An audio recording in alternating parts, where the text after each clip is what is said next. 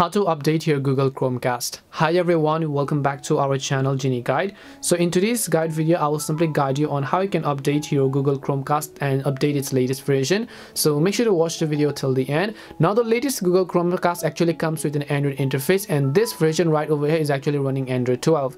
If I want to go ahead and then update it, all I have to do is just go to the settings icon on the top right hand side which is my Google profile photo and then you simply want to come to settings.